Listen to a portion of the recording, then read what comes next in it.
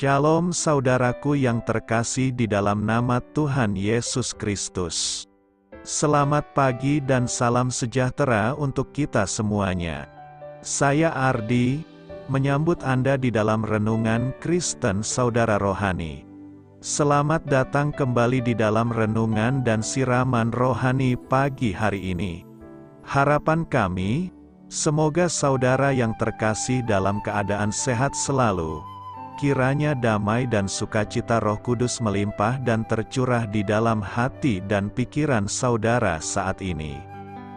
Sebelum kita mulai renungan kita pada pagi ini, marilah kita bersama-sama berdoa.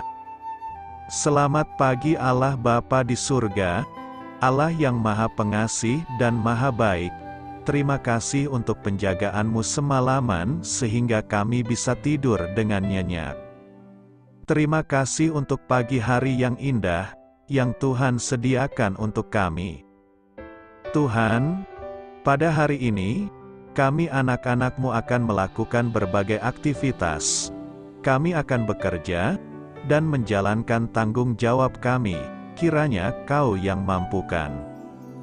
Kami serahkan seluruh rencana dan agenda hari ini ke dalam tangan Tuhan biar Tuhan yang berkarya dan biarkan semua rencana sesuai dengan kehendak-Mu ya Tuhan Yesus yang baik.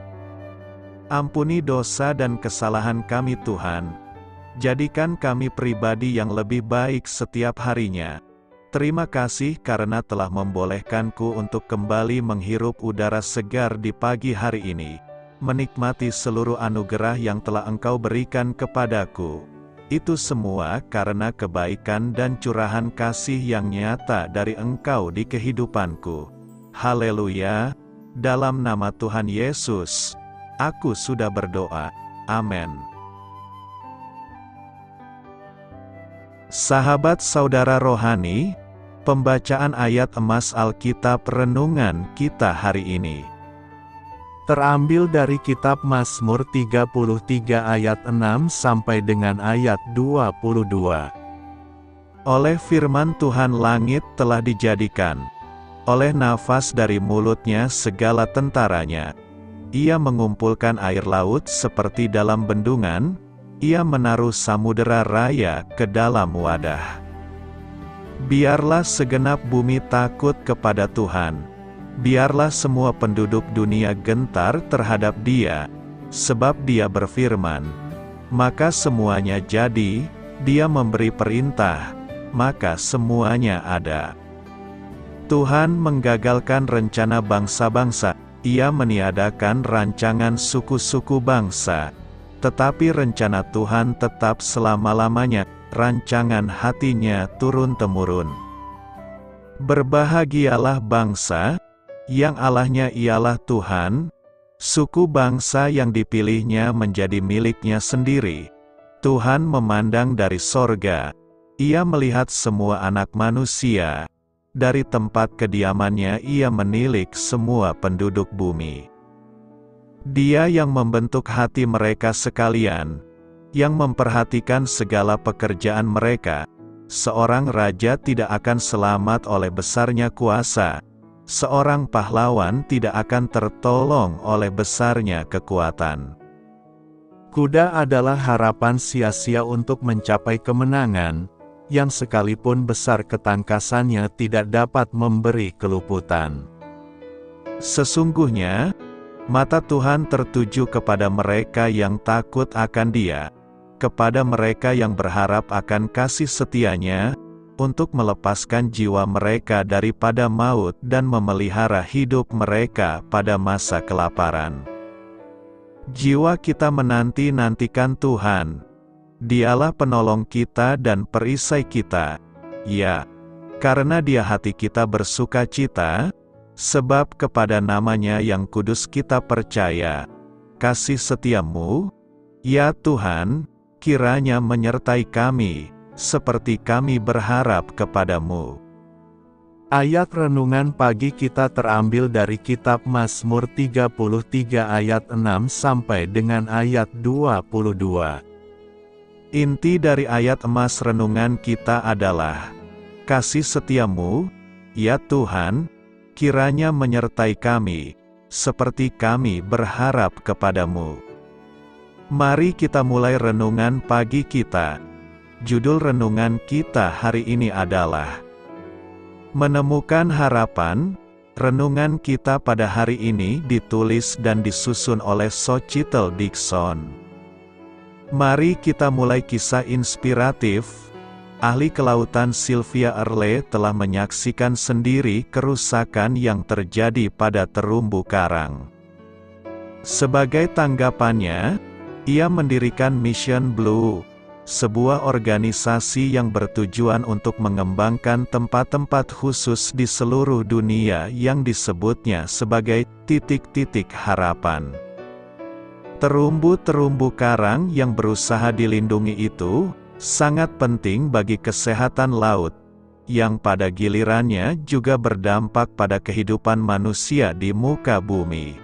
Lewat perawatan khusus terhadap wilayah-wilayah itu, para ilmuwan telah melihat adanya perbaikan dalam komunitas makhluk-makhluk hidup dalam air dan kehidupan spesies yang terancam punah dapat dilestarikan. Dalam Mazmur 33, Pemasmur mengakui bahwa Allah menjadikan segala sesuatu dengan firman-Nya dan dia memastikan semua yang diciptakannya akan tetap berdiri kokoh. Karena Allah berkuasa atas setiap generasi dan bangsa, dia saja yang sanggup memulihkan hubungan, menyelamatkan hidup, dan membangkitkan harapan. Namun, Allah mengundang kita untuk terlibat bersamanya merawat dunia dan orang-orang yang diciptakannya. Setiap kali kita memuji Allah untuk terbitnya pelangi di balik awan mendung, atau untuk ombak laut yang berkilauan menghantam pantai berbatu, kita dapat menyerukan kasih setia dan penyertaannya dengan terus berharap kepadanya. Saat kita nyaris berputus asa atau gentar melihat keadaan dunia ini, kita mungkin merasa tidak mampu berbuat apa pun untuk mengubahnya. Akan tetapi, dengan melakukan bagian kita sebagai rekan kerja Allah dalam memelihara bumi, kita dapat menghormati Dia sebagai Pencipta dan menolong orang lain untuk ikut menemukan harapan dengan mempercayakan hidup mereka kepada Tuhan Yesus. Marilah kita renungkan di dalam hati kita, bagaimana Allah telah memakai alam untuk menguatkan harapan Anda kepadanya. Apa yang dapat Anda lakukan untuk berperan sebagai rekan kerja Allah dalam memelihara alam? Hal ini patut kamu ketahui, dalam Mazmur 33, pemazmur yang tidak disebutkan namanya mendorong orang-orang benar untuk memuliakan Allah dan mengakui dia sebagai Tuhan atas alam ciptaan serta penguasa atas segala bangsa. Pemazmur menggambarkan kuasa Allah dalam karya penciptaannya. Oleh firman Tuhan langit telah dijadikan, Sebab dia berfirman, maka semuanya jadi, dia memberi perintah, maka semuanya ada pencipta alam semesta yang maha kuasa juga adalah penguasa tertinggi atas sejarah. Dialah pemelihara dan pelindung orang-orang yang percaya kepadanya. Tak berkesudahan kasih setia Tuhan. Tema yang akan kita renungkan adalah tak berkesudahan kasih setia Tuhan. Dalam situasi apa pun yang terjadi di dunia ini, kasih setia Tuhan takkan pernah habis. Tuhan akan terus-menerus setia mengasihi kita di dalam situasi apa pun yang kita alami. Dalam kitab ratapan ini, kita melihat bagaimana Nabi Yeremia menghadapi berbagai penderitaan dan kesedihan sehingga ia meratapi keadaan itu di hadapan Tuhan. Yeremia meratap atas kerusakan yang dialami Yerusalem secara tragis. Kesedihan Yeremia digambarkan bagaikan seorang yang meratap pada saat penguburan kerabat dekat yang mati secara tragis.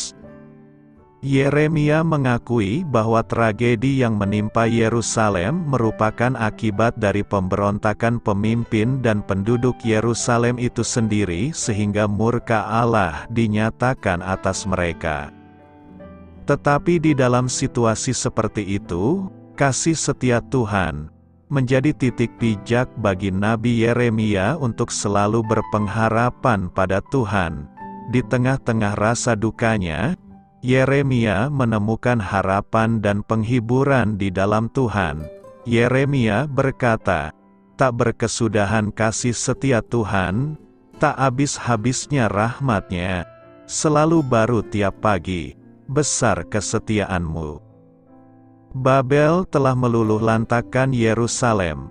Walau demikian, saat asap masih naik dari antara abu reruntuhan, Yeremia mengerti tiga kunci kehidupan yang luar biasa ini, yakni, satu, Kasih setia Tuhan tak berkesudahan, dua, Rahmatnya tak pernah habis, tiga, Besar kesetiaan Tuhan.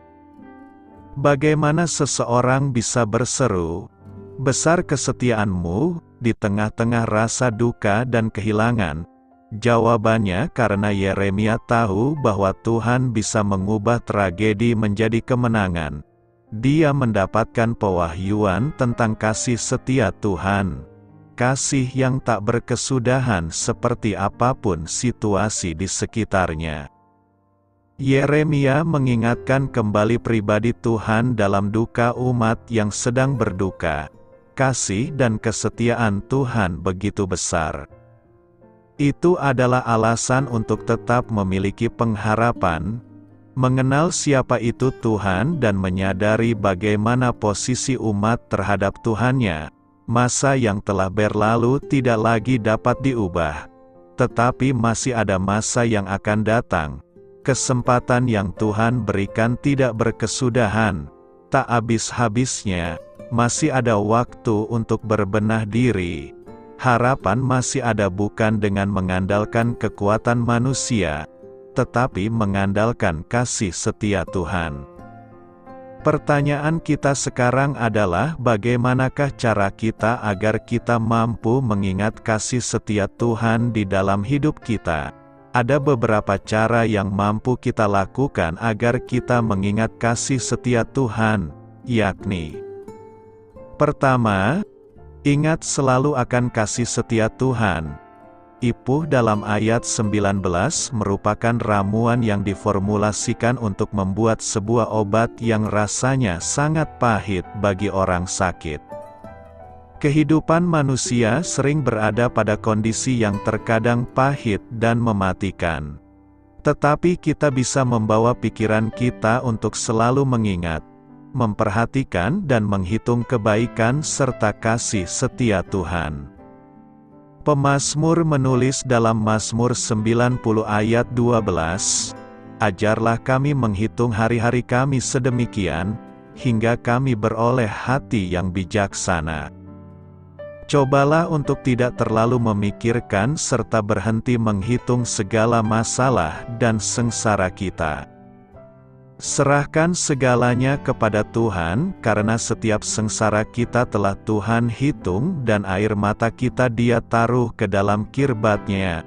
Bagian Allah adalah menghitung air mata dan kesusahan kita, sedangkan bagian kita adalah menghitung kasih setia, berkat-berkat dan kebaikan Tuhan. Tuhan tidak pernah lupa akan janjinya ia akan menepatinya tepat pada waktunya karena ia tahu waktu yang tepat untuk membebaskan kita dari kesengsaraan kita. Kedua, jadikanlah Tuhan sebagai karta kesayangan. Tuhan adalah bagianku, kata jiwaku, oleh sebab itu aku berharap kepadanya. Terjemahan lain mengatakan, Tuhan adalah harta yang terbesar. Jadikan Tuhan sebagai harta kesayangan, bagian yang terpenting dan segala-galanya dalam hidup kita. Harta dan materi dunia ini adalah hal yang fana. Apa saja dapat membuat segala harta dan kekayaan kita hilang musnah. Daud dengan tepat memposisikan Tuhan atas dirinya. Ia berkata dalam Mazmur 73 ayat 25 sampai 26, Siapa gerangan ada padaku di sorga selain engkau?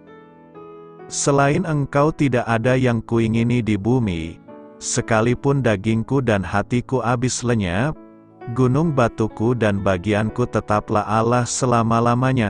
Masalah boleh datang tetapi masalah tidak akan membuat kita kehilangan segala-galanya, karena Tuhan yang ada di dalam hati kita adalah harta kesayangan dan bagian yang tidak akan pernah bisa diambil dari kita. Ketiga, berharaplah selalu kepada Allah. Tuhan adalah baik bagi orang yang berharap kepadanya, bagi jiwa yang mencari Dia. Percayalah kepada Tuhan setiap waktu dan curahkanlah isi hati kita di hadapan Tuhan karena Allah adalah tempat perlindungan kita. Tuhan itu baik, berharaplah kepadanya karena di dalam dia ada ketenangan.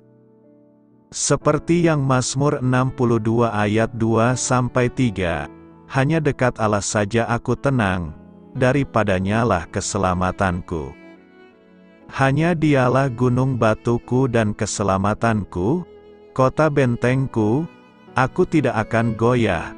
Tuhan senang kepada orang-orang yang takut akan dia, kepada orang-orang yang berharap akan kasih setianya.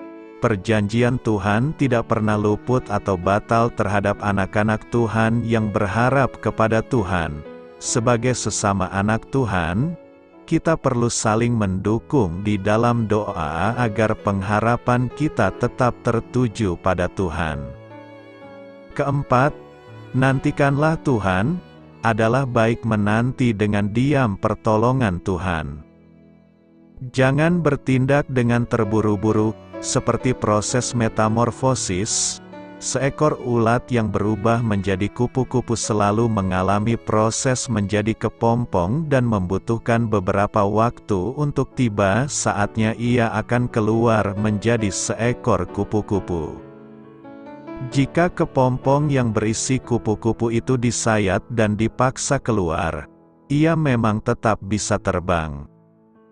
Tetapi tidak berapa lama kemudian kupu-kupu itu akan mati karena prosesnya kurang sempurna dan kupu-kupu tersebut tidak pernah mengalami proses pergumulan untuk keluar dari kepompongnya sehingga ia tidak kuat untuk terbang.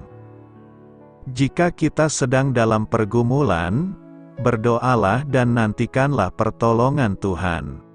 Dengan kacamata iman, kita akan melihat bahwa pergumulan yang kita alami sebenarnya hanyalah berukuran kecil. Jika kita memakai kacamata firman Allah, kita akan dapat melihat bahwa Allah ada di pihak kita dan akan memberikan kita kemenangan atas setiap permasalahan hidup kita. Jangan memaksakan waktunya Tuhan. Jika kita bertindak sesuai dengan waktunya kita, kita hanya akan menemui kekecewaan. Tunggulah dengan sabar di kaki Tuhan, berdoa, maka Allah akan menolong kita tepat pada waktunya. Tetapi orang-orang yang menanti-nantikan Tuhan mendapat kekuatan baru. Mereka seumpama Raja Wali yang naik terbang dengan kekuatan sayapnya, mereka berlari dan tidak menjadi lesu, mereka berjalan dan tidak menjadi lelah. Bahasa asli kata "menanti-nanti" ini memiliki arti memintal atau tali yang dibentuk dari beberapa serat tali. Hidup manusia penuh dengan keterbatasan, tapi apabila kita memintalkan diri kita menyatu atau manunggal dengan Dia yang tak terbatas, maka di sanalah letak kekuatan kita. Dunia ini syarat dengan problem. Banyak orang sudah merasa lelah dalam menjalani hidup ini. Tetapi apabila kita melekat atau menempel, menyatu dengan Dia, maka tidak ada yang dapat membuat kita lelah, karena di dalam Tuhan selalu ada kekuatan baru. Teruslah memintal hingga menghasilkan karya yang luar biasa dari Tuhan. Kuasanya akan nyata dalam hidup kita. Di dalam menanti-nantikan, Tuhan kiranya ada pujian yang keluar dari mulut kita. Karena di dalam pujian ada kemenangan yang luar biasa. Secara manusia, mungkin kita tidak dapat memuji Tuhan ketika kita mengalami kelemahan. Tetapi kita dapat memerintah jiwa kita seperti yang pemazmur katakan dalam Mazmur 103 ayat 2. Pujilah Tuhan hai jiwaku, ada beberapa contoh di dalam Alkitab yang menyatakan bahwa pujian kepada Allah sanggup untuk mengalahkan permasalahan. Tembok kota Yeriko pun roboh ketika umat Israel bersorak dan memuji Tuhan. Berkatalah Yosua kepada bangsa itu, "Bersoraklah, sebab Tuhan telah menyerahkan kota ini kepadamu." Lalu bersoraklah bangsa itu, sedang sangkakala ditiup, segera sesudah bangsa itu mendengar bunyi sangkakala, bersoraklah mereka dengan sorak yang nyaring. Maka runtuhlah tembok itu, lalu mereka memanjat masuk ke dalam kota, masing-masing langsung ke depan, dan merebut kota itu. Paulus dan Silas bebas dari belenggu ketika mereka memuji Tuhan sekalipun mereka dalam penjara. Tetapi kira-kira tengah malam Paulus dan Silas berdoa dan menyanyikan puji-pujian kepada Allah dan orang-orang hukuman lain mendengarkan mereka. Akan tetapi terjadilah gempa bumi yang hebat, sehingga sendi-sendi penjara itu goyah, dan seketika itu juga terbukalah semua pintu dan terlepaslah belenggu mereka semua. Renungkan, apa yang hendak kita renungkan dalam hari ini? Pertama, ingat Tuhan dalam penderitaan kita, kehidupan di dunia memang tidak dapat dilepaskan dari penderitaan. Permasalahan, hidup, kesengsaraan, kekecewaan, dan berbagai macam beban dalam hidup. Tetapi menjadi perenungan penting dalam hidup kita adalah, pada saat kita mengalami penderitaan, permasalahan hidup, kesengsaraan, kekecewaan, dan berbagai beban kehidupan, apakah yang dapat kita lihat? Kebanyakan orang hanya akan melihat penderitaan, permasalahan hidup, kesengsaraan, kekecewaan, dan berbagai macam beban kehidupan. Kesemuanya itu menjadi penghalang untuk melihat Tuhan dengan kekuasaan dan kuasa yang dimilikinya. Oleh karenanya, kebanyakan orang hanya akan mengeluh, berkelut dalam penderitaan, mungkin juga akan protes atau bahkan meninggalkan Tuhan di dalam hidupnya. Tetapi ingatlah firman Tuhan hari ini yang menyatakan, Ingatlah akan sengsaraku dan pengembaraanku, akan ipuh dan racun itu. Jiwaku selalu teringat akan hal itu dan tertekan dalam diriku. Secara jelas firman Tuhan di atas menyatakan bahwa penderitaan, permasalahan hidup, kesengsaraan, kekecewaan, dan berbagai macam beban kehidupan menjadikan seseorang dapat tertekan, stres, dan mungkin juga mengalami depresi berat. Tetapi berbagai keluhan, ungkapan ketertekanan, dan bahkan penderitaan kita, bukanlah menjadi bagian kehidupan kita sendirian. Kita mempunyai Allah yang dapat menjadi tempat kita mengeluh kita mempunyai Allah yang memahami penderitaan dan beban hidup kita seperti ipuh dan racun. Dan kita pun mempunyai Tuhan yang mengerti tentang kefanaan hidup kita seperti seseorang yang mengembara di dunia ini.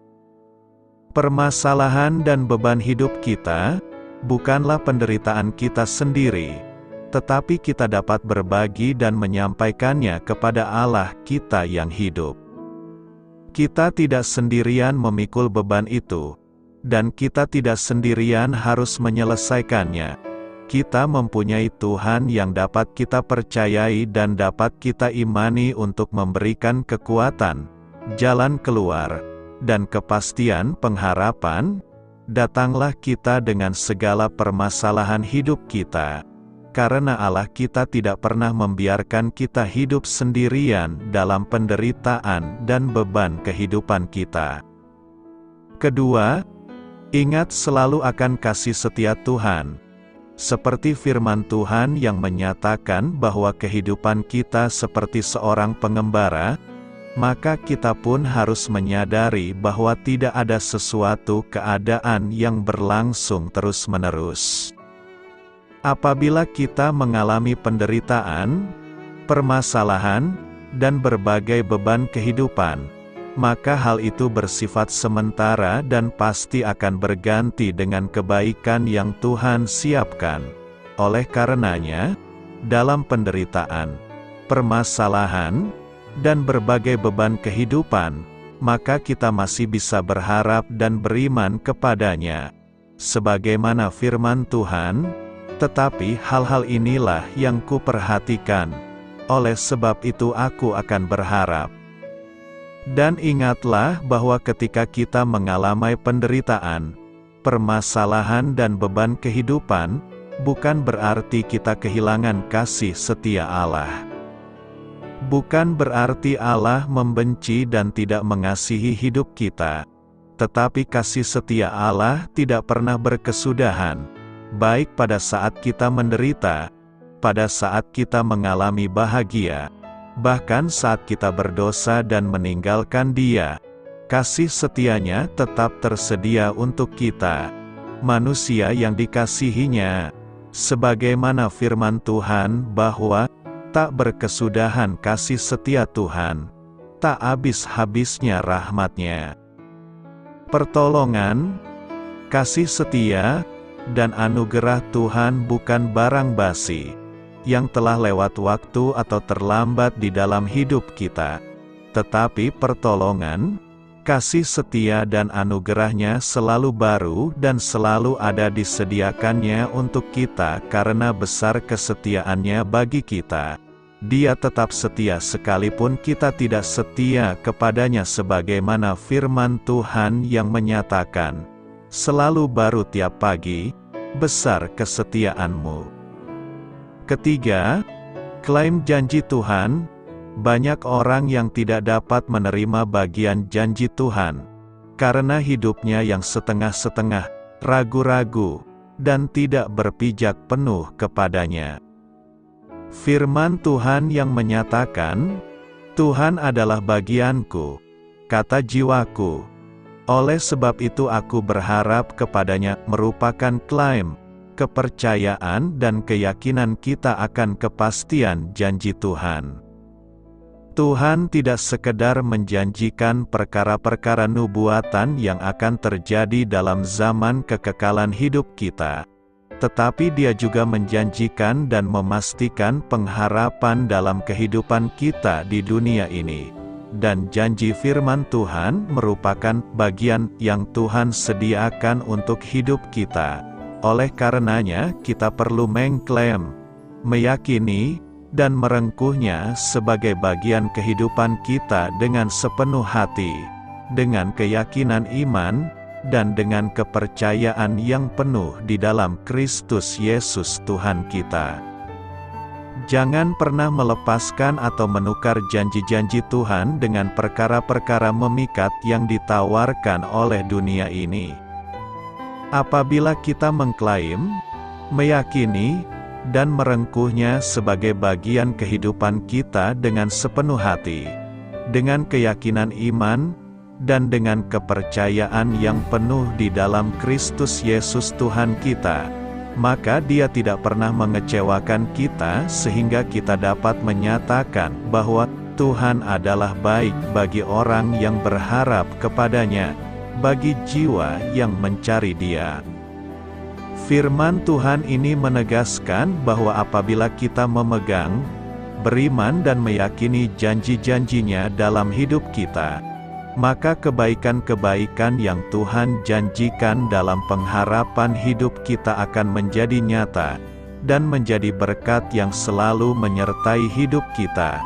Karena itu, ingatlah selalu bahwa tak berkesudahan kasih setia Tuhan bagi kita yang percaya kepadanya.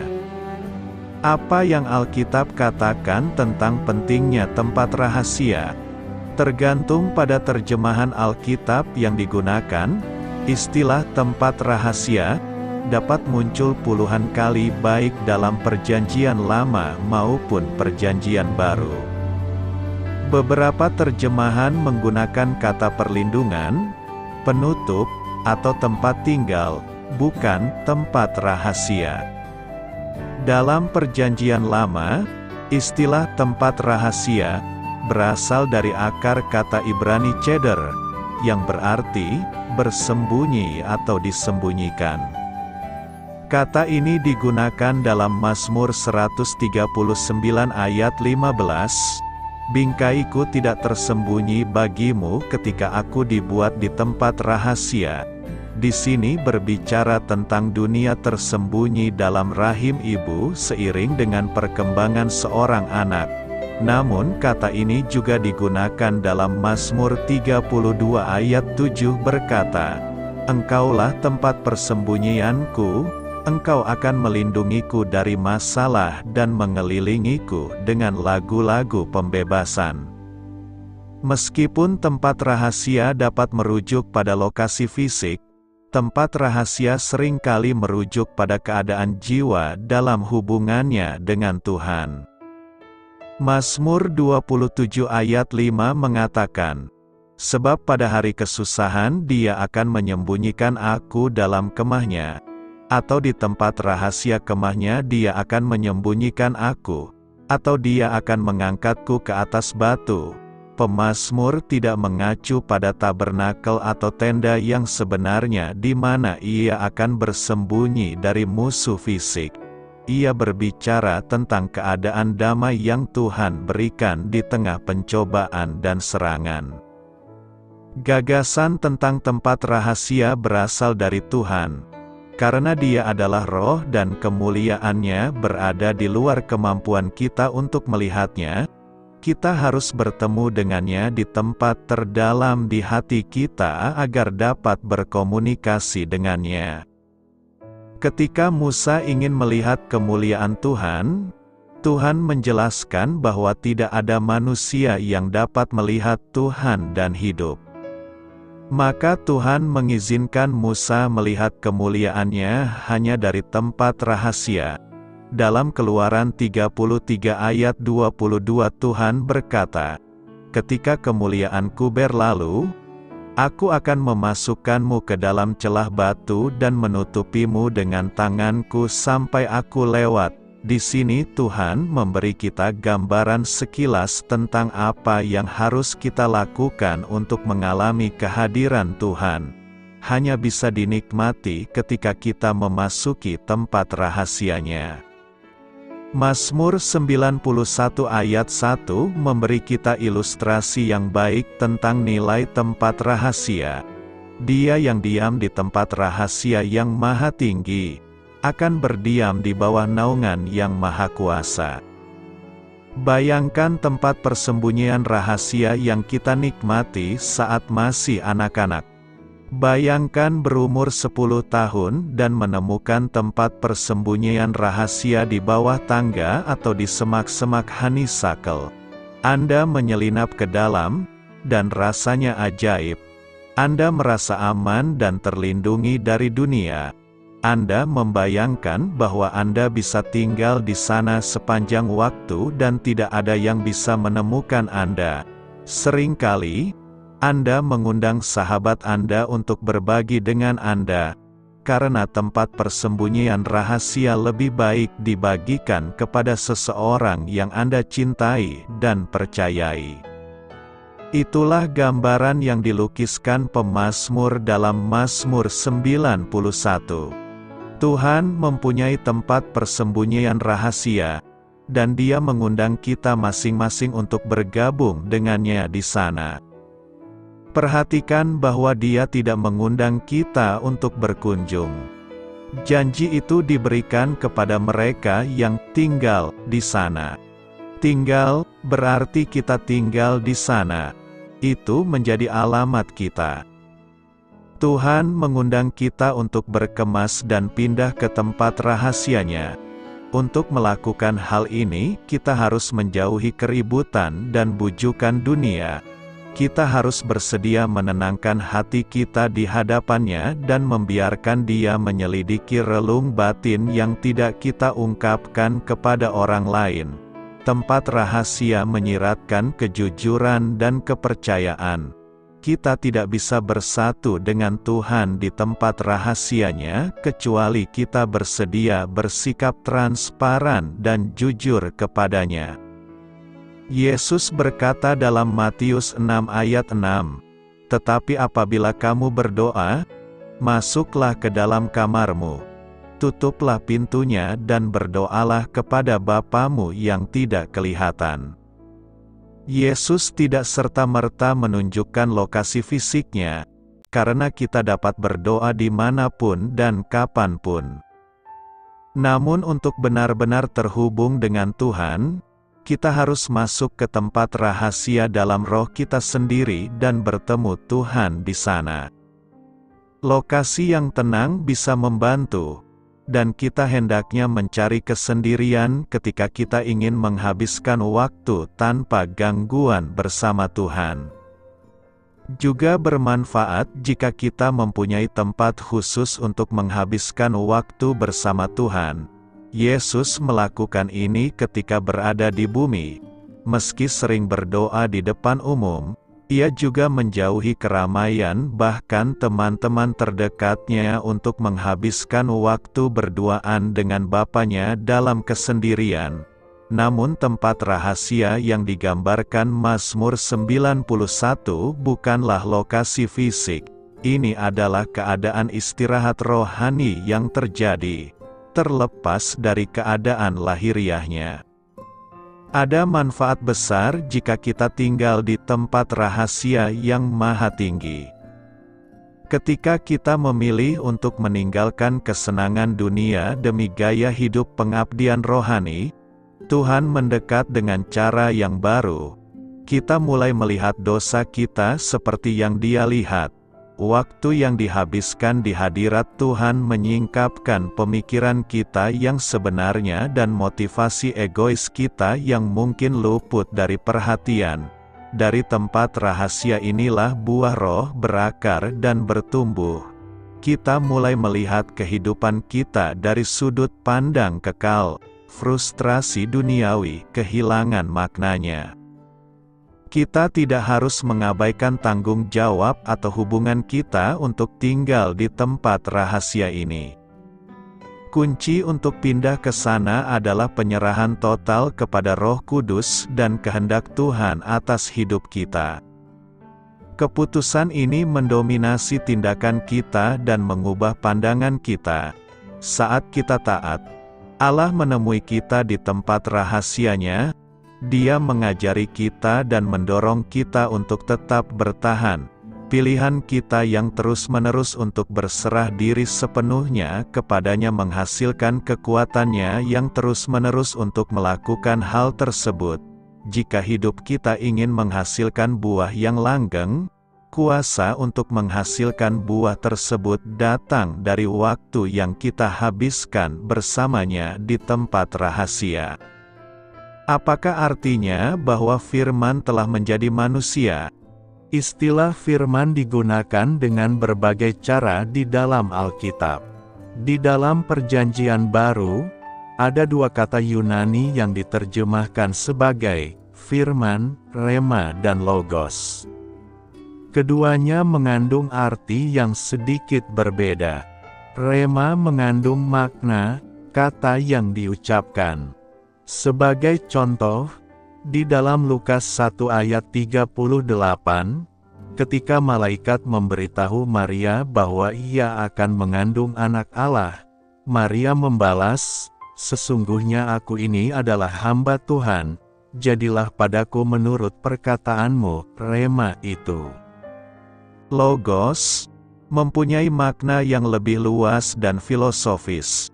Istilah ini digunakan di dalam Yohanes 1, pada umumnya keseluruhan pesan yang tersirat, dan paling sering digunakan untuk merujuk pada pesan Allah kepada umat manusia.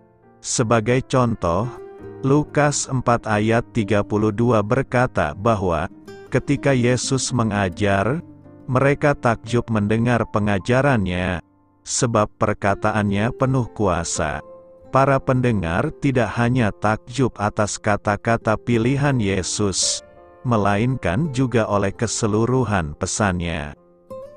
Firman di dalam Yohanes pasal 1 sedang merujuk kepada Yesus. Yesus adalah keseluruhan dari pesan itu semua yang hendak disampaikan Allah kepada manusia. Pasal pertama Yohanes memberi sebuah pengertian akan hubungan antara Allah dan Putra sebelum Yesus datang ke bumi sebagai manusia. Ia berada dengan Bapa dari sebelumnya, ia terlibat dalam penciptaan segala sesuatu, dan ia adalah terang manusia. Sang Firman, atau Yesus, adalah perwujudan semua yang adalah Allah. Akan tetapi Allah Bapa adalah roh, ia tidak dapat dilihat oleh mata manusia. Pesan kasih dan keselamatan yang telah diserukan Allah melalui para nabi telah diabaikan selama berabad-abad. Dengan terlalu mudah manusia mengabaikan pesan Allah yang tak terlihat dan berlanjut dalam dosa dan pemberontakan mereka. Jadi, pesan itu menjadi manusia, mengenakan darah daging, dan berdiam di antara kita. Bahasa Yunani menggunakan istilah logos untuk membahas pikiran, logika, atau hikmat seseorang.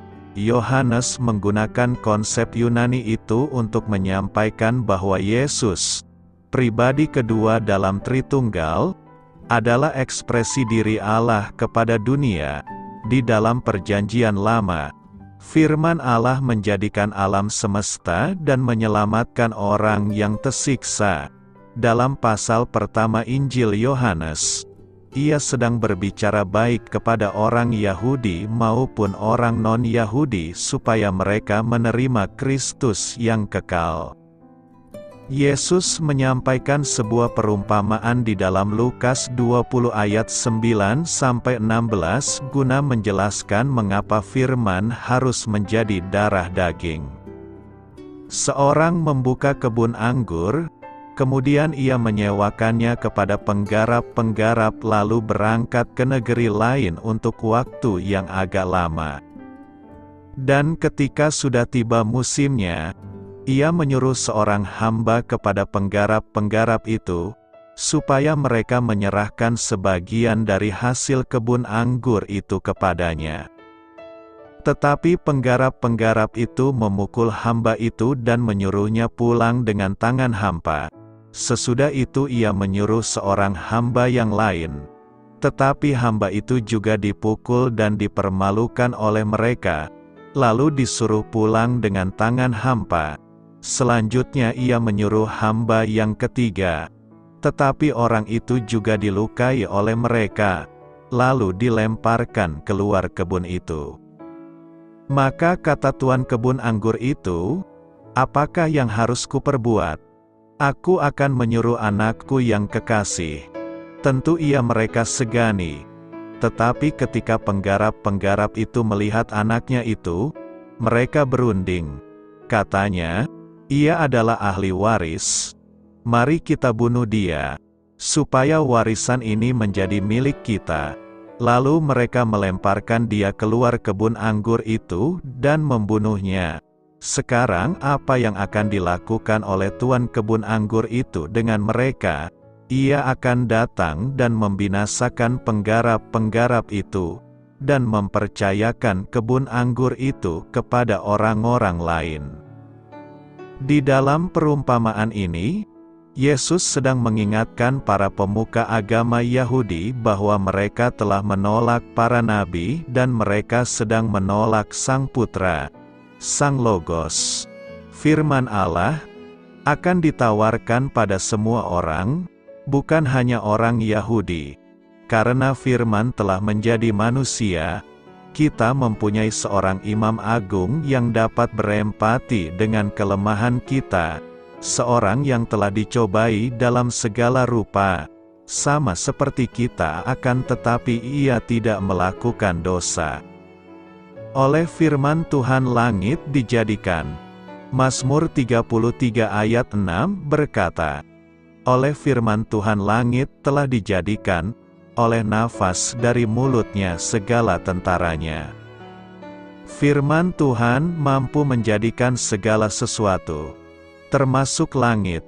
Kesaksian ini ditulis pemazmur dalam Mazmur 33 ini.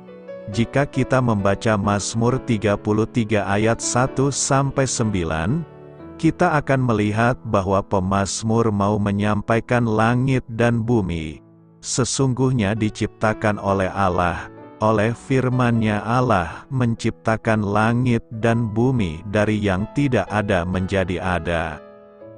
Kesaksian lain terlihat dari penulis kitab Ibrani yang mengatakan bahwa karena iman kita mengerti, percaya, mengakui bahwa alam semesta diciptakan oleh Allah. Mengapa Pemzamur mengangkat kejadian alam, Penulis Perjanjian Lama selalu menggunakan kejadian alam, yaitu langit dan bumi, sebagai contoh konkret yang menunjukkan bahwa Allah itu ada. Contoh, Abraham dijanjikan oleh Allah. Selain itu, berita penciptaan kita temukan juga dalam kitab Kejadian. Dalam kitab Kejadian dikatakan, Semuanya dijadikan oleh Tuhan melalui firman-Nya. Hanya menjadikan manusia, Allah membuat serta membentuknya dari tanah itu menjadi sempurna setelah Allah menghembuskan nafas dari mulutnya. Bila kita bandingkan dengan upaya manusia untuk menjadikan daratan, harus dengan biaya yang sangat besar melakukan reklamasi. Untuk menjadikan bendungan harus mempersiapkan dana serta tenaga yang besar. Tapi lihatlah, dunia yang begitu besar, daratan dan samudera yang luas, gunung yang tinggi serta semua yang berharga di dalam bumi dan air. Kebesaran Tuhan dalam penciptaan alam semesta mendorong kita percaya kepadanya agar kita setia dan bersyukur serta memuliakan namanya. Dalam rasa syukur itulah setiap orang mengolah bumi dan air menjadi berkat bagi semua orang. Bukan sebaliknya, menyengsarakan dan membuat manusia menderita, kepada mereka yang begitu gegabah merusak alam untuk kepentingan pribadi atau kelompok harus mengingat bahwa alam ini adalah ciptaan Tuhan. Mereka harus takut merampas dan merusak ciptaan Tuhan. Orang melakukan wisata alam terdorong untuk bersyukur kepada Tuhan karena alam yang begitu indah. Bila melihat keindahan Danau Toba, kita melihat kebesaran Tuhan, namun sangat disayangkan bila masih saja ada orang yang merusak dan membuang sampah sembarangan sehingga merusak keindahan tersebut. Bersyukurlah atas kebesaran Tuhan dalam ciptaannya, serta kesempatan memelihara dan mengolahnya dengan baik. Karena itu, Marilah kita menghargai firman Allah yang menciptakan langit dan bumi dengan cara memelihara alam dengan sebaik-baiknya. Doa saya menyertai saudara sekalian, marilah kita menyampaikan doa syafaat, Allah pencipta dan pemelihara yang baik, tolonglah aku menghadirkan harapan, dengan setia melayani sebagai rekan kerjamu di muka bumi. Amin. Sampaikan harapan dan permintaan saudara kepada Tuhan. Mari kita lanjutkan ke sesi terakhir renungan kita hari ini.